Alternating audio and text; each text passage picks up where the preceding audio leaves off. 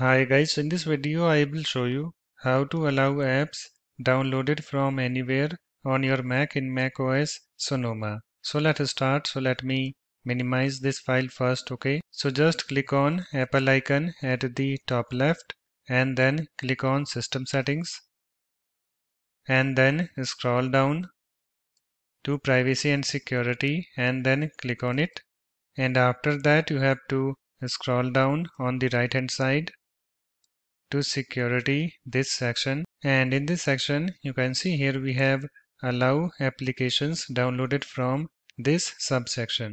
So you can see we have only two options uh, app store and app store and identified developers.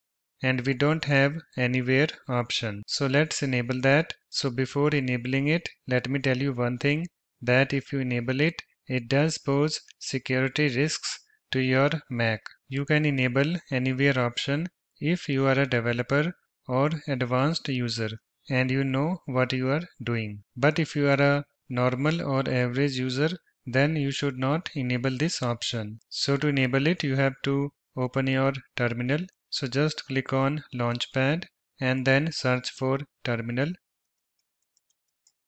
so here is my terminal app. Let me click on it to open it. You can see it's opened. Let me minimize my system settings. Okay.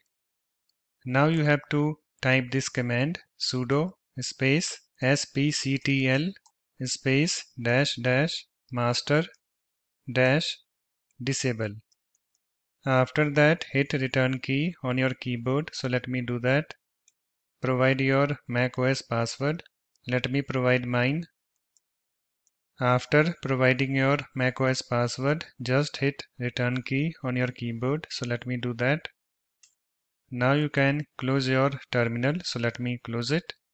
And if I open my system settings, you can see still we don't have anywhere option. So you have to close your system settings and then open it again. Okay. So let me close it. Let me open it again. You can see it's opened. Let me scroll down to privacy and security. Let me click on it. Let me scroll down on the right hand side uh, to security this section. And if I come to allow applications downloaded from this subsection you can see we have anywhere this option and it's selected. So it's now done guys. Now you can close your system settings. So let me close it.